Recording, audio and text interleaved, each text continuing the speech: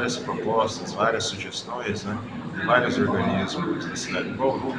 Então a prudência nos remete a pegar o projeto de lei, pegar as contribuições e formatar uma proposta que possa ser uma proposta que venha para casa em condições de ser votada, garantindo né, que a cidade possa ter um desenvolvimento sustentável para que nós possamos também contribuir para que a cidade deixe de ser uma cidade, uma cidade, uma cidade que priorize a exclusão né, e crie as condições para que você tenha um desenvolvimento sustentável, um desenvolvimento mais inclusivo para a população de Bauru. Depende de uma questão conceitual. O professor Chades tem conhecimento sobre a área, né?